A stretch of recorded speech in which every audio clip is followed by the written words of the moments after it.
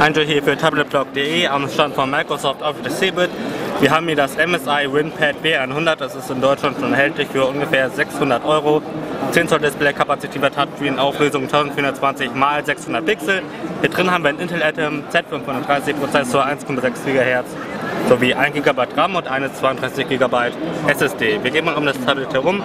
Wir haben hier einen äh, Kopfhörerausgang, HDMI-Ausgang, SD-Kartenslot. Hier haben wir einen Anschluss für eine Dockingstation, SIM-Kartenslot für das UMTS HSPA-Modem. Wir haben einen USB 2.0 Port, Anschluss fürs Netzteil. Ähm, hier WLAN, Bluetooth, ein Ausschalten sowie ein Power-Button. Kopfhörer oben.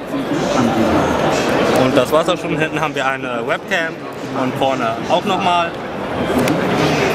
Was mir gefällt, sind diese Buttons in der Seite, mit denen man Lautstärke regeln kann, Fotos direkt machen kann, ein OK-Button für Menüs, Betriebssystem Windows 7, Home Premium, kennen wir alles.